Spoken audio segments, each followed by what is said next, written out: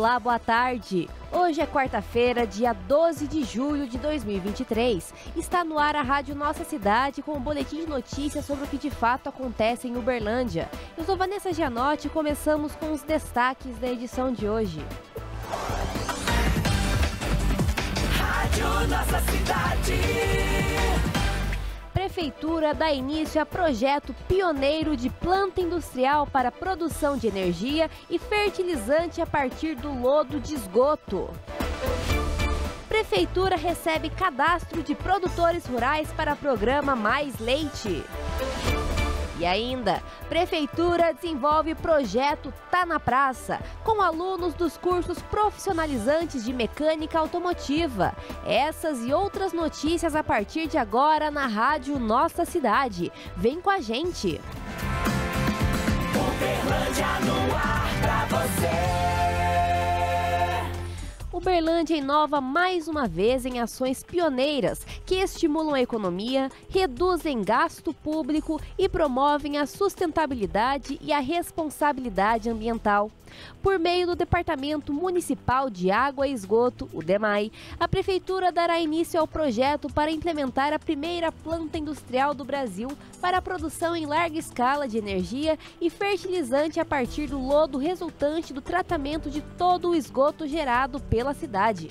A primeira etapa consiste na contratação de um estudo técnico, cuja ordem de serviço foi assinada na tarde de ontem pelo prefeito Odelmo Leão, junto à empresa Companhia de Promoção Agrícola.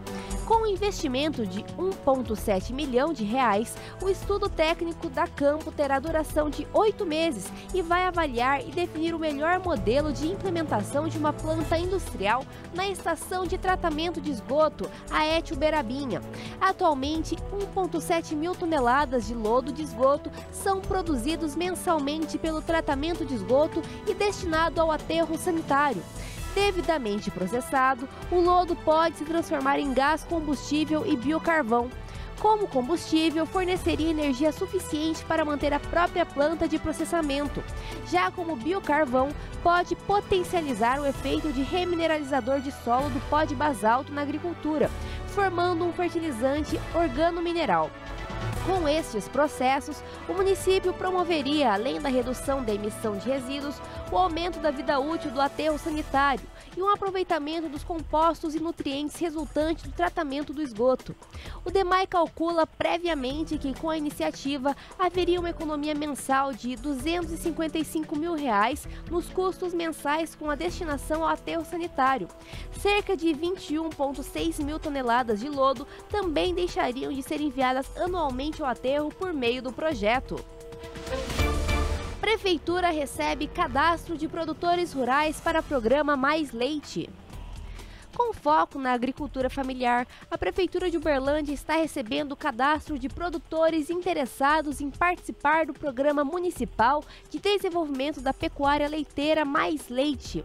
Lançado no dia 3 de julho pelo prefeito Odelmo Leão, o programa vai viabilizar a oferta gratuita de orientações técnicas, produtivas, financeiras e de comercialização.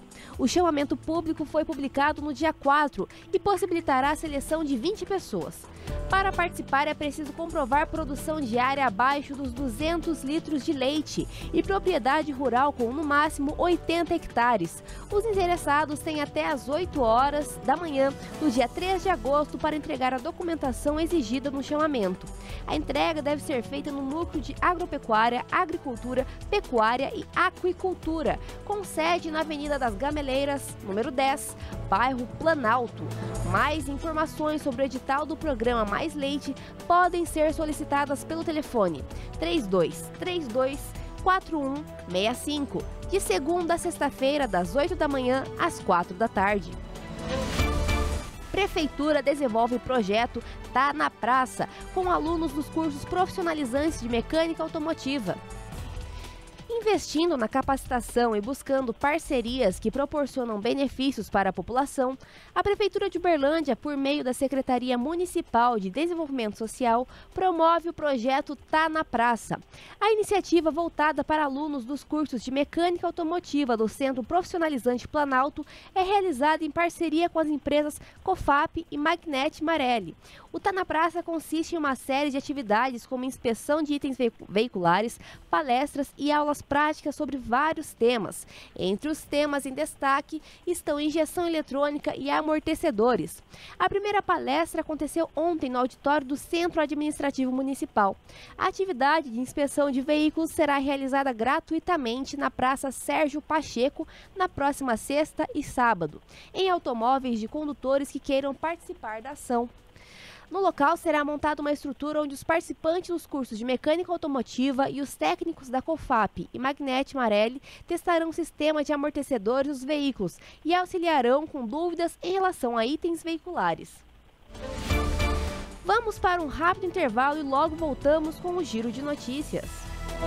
Bom dia. Tudo bem? A senhora acha que Uberlândia é uma cidade grande? Nossa, tá grande demais. E se eu te falar que maior ainda é o nosso coração? Vou te mostrar um vídeo que a gente tem sobre Uberlândia.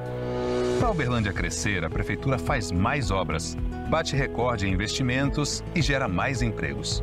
Para todos viverem bem, a Prefeitura dobrou o atendimento social, multiplicou por quatro os cursos profissionalizantes e tem o melhor Cine de Minas, inserindo 21 mil pessoas no mercado de trabalho.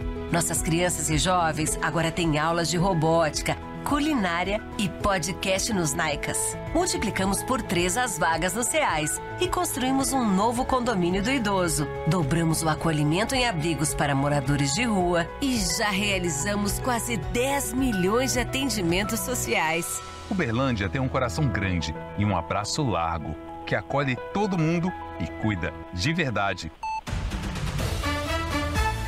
Giro de notícias. Prefeitura de Uberlândia, por meio da Futel, libera ao público nesta quarta-feira a nova portaria do bairro Tibere. Construída no mesmo padrão das demais, com área de 24,8 metros quadrados, a estrutura tem revestimento em porcelanato amadeirado e duas catracas de acesso, uma de entrada e outra de saída.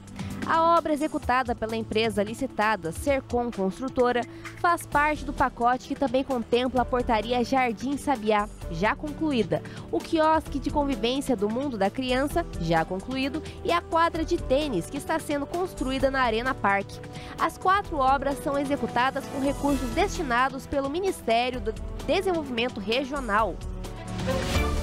A Prefeitura de Uberlândia divulgou ontem a nova data para aplicação da prova objetiva do concurso público para preenchimento de cargos públicos efetivos. A avaliação ocorrerá no dia 1 de outubro, exclusivamente em Uberlândia, conforme publicado no Diário Oficial do Município, o DOM. O certame vai oferecer 653 vagas para 29 cargos de quatro níveis de escolaridade: fundamental, médio, médio técnico e superior, além de prever a formação de cadastro de reserva. As inscrições serão via internet pelo endereço eletrônico www.gestãodeconcursos.com.br e vão começar às 9 da manhã do dia 21 de agosto às 5 horas com término em 19 de setembro. O concurso público será conduzido pela Fundação de Desenvolvimento da Pesquisa, a Fundep, ligada à Universidade Federal de Minas Gerais, a UFMG. A depender do cargo, o candidato também deverá prestar prova de redação, prova prática, avaliação física, teste de aptidão ou prova de títulos. Giro de notícias. A edição de hoje fica por aqui. Obrigada pela sua audiência. A edição foi minha, Vanessa Gianotti. Tradução em Libras, Amanda Valentim. Responsável técnico, Cristiano Silva. Secretário Municipal de Governo e Comunicação, Marco Túlio de Castro Kalimann. Prefeitura de Uberlândia. Fazer mais, fazer bem. Até a próxima. Fica por aqui mais uma edição do programa da Rádio Nossa Cidade. Continue conosco no portal da Prefeitura e nas redes sociais.